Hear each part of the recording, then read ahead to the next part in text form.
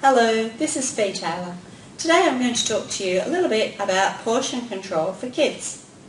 Too often I see overpacked lunchboxes, combine that with the upsizing of all the meals at all the takeaway joints.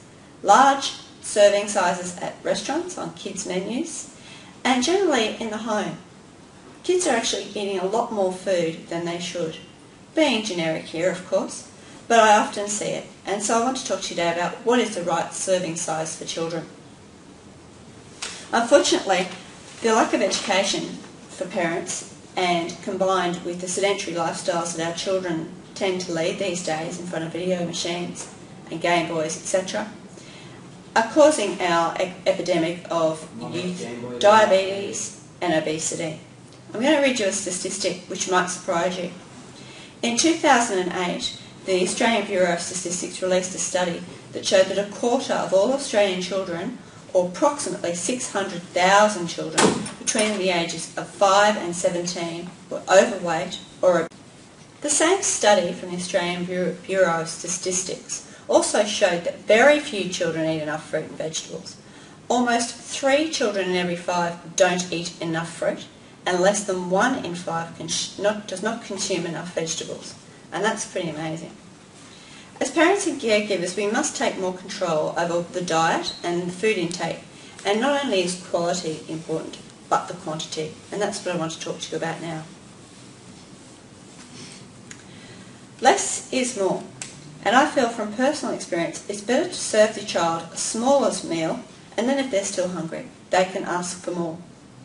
As long as their nutritional requirements are being met, there's no need for them to overeat.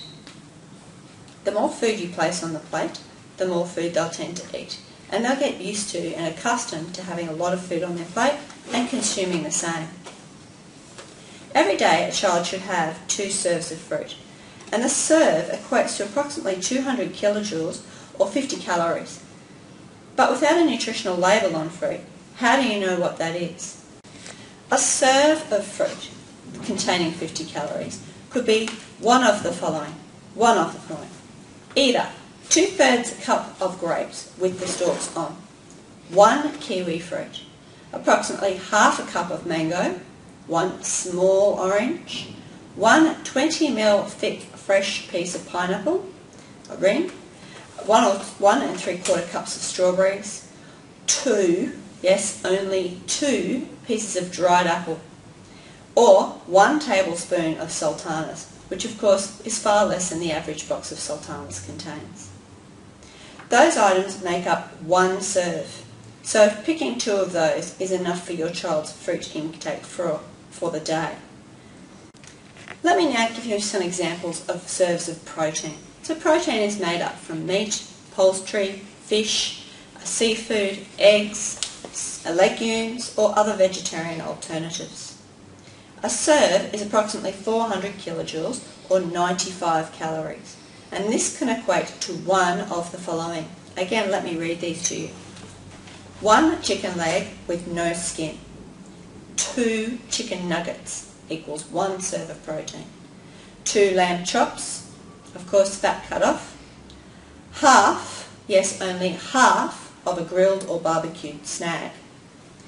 One small piece of fish two calamari rings, 10 medium prawns, a small can of tuna, one and a half medium-sized eggs, half a cup of chickpeas, or four cubes, approximately three centimetres square, of tofu.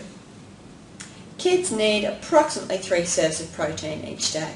So taking examples from that list, they could have, for example, at breakfast time, one and a half eggs. Scrambled makes it easier when you're doing the half.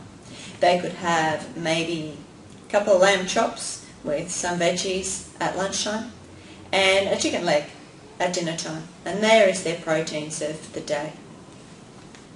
As for milk, kids need a range of between 3 and 6 serves, approximately 95 calories or 400 kilojoules of dairy depending on their age. Younger children from 2 up, 2 to 3 generally three servings, and as they reach adolescence, six servings for those growing bones. And what about dairy products? Children need a range of three to six serves of dairy per day, depending on their age. A serve again is about 400 kilojoules or 95 calories. A serve can equate to one of the following.